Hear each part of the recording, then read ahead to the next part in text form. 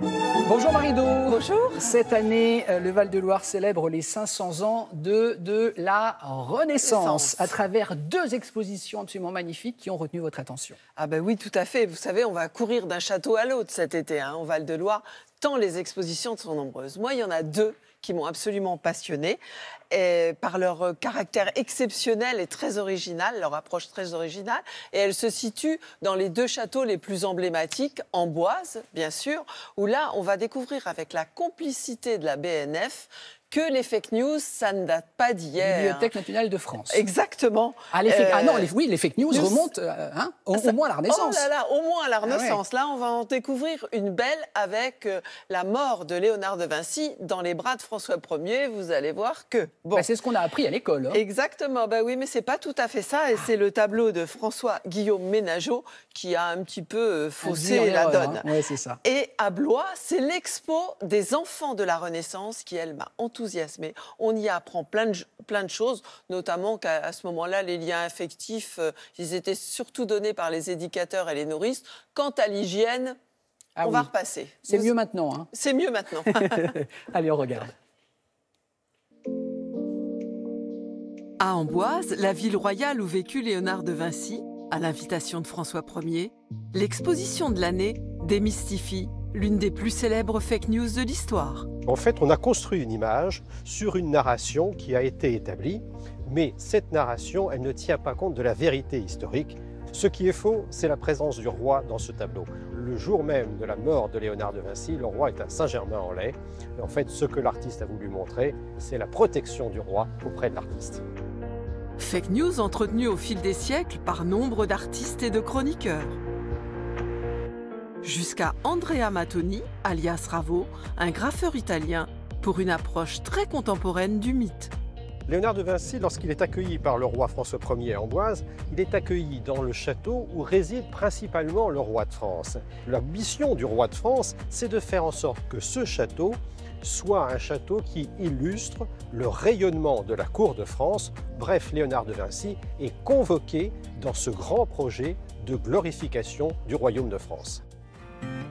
Léonard de Vinci est un artiste très connu de son temps, mais lorsqu'il accepte la proposition du roi de France, son invitation, en fait, il est dans une situation de déstabilisation par rapport à la nouvelle génération, celle de Raphaël et de Michel-Ange.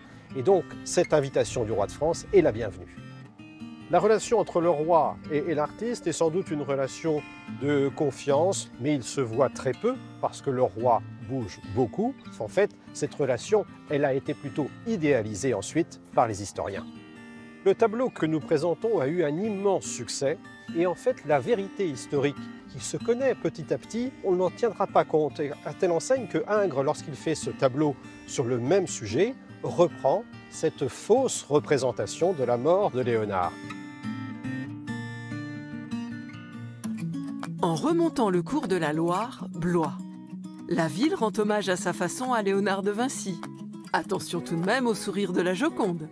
Le château, lui, a choisi de consacrer son exposition au thème des enfants dans la Renaissance. Avant la Renaissance, au Moyen Âge, on a un enfant qui est moins différencié. D'ailleurs, il n'a pas de costume particulier, il est habillé en robe longue comme euh, les adultes. Alors qu'à la Renaissance, on se met en place ce qu'on va appeler le sentiment d'enfance. Euh, Les enfants sont déterminés par leur costume et ces costumes sont en quelque sorte codifiés. C'est-à-dire que quand on est un nourrisson, eh bien, on a des bandelettes, on est emmailloté. Et puis quand on a euh, 4-5 ans, on a une petite robe. C'est la même pour les garçons comme pour les filles. Puis ensuite, on passe à une robe différente pour les garçons comme pour les filles. Et vers 7 ans, on passe au costume de d'adulte.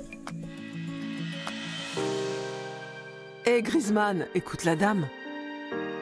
La naissance, c'est une affaire euh, de femmes.